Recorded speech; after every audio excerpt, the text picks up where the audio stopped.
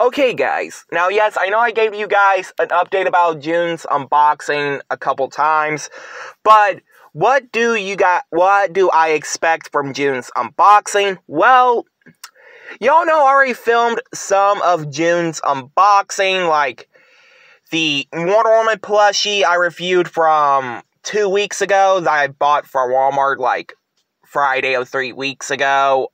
Um, the Peacemaker ornament that I remake from four months ago. Uh, the Kuricha that's being delivered today, that will be an early June's unboxing. I mean, that's the only things I remember from uh, doing an unboxing on.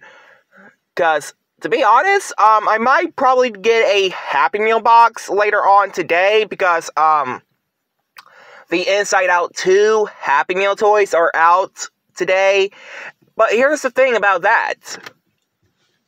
I can't. I don't know why.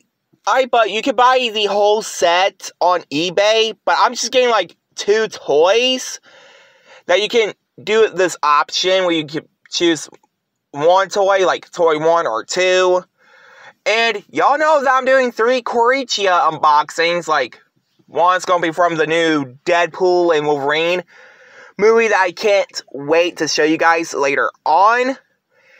And two other Kurichas will be a big surprise. But, um, yeah, uh, anyway, guys, I hope you guys like, comment, subscribe.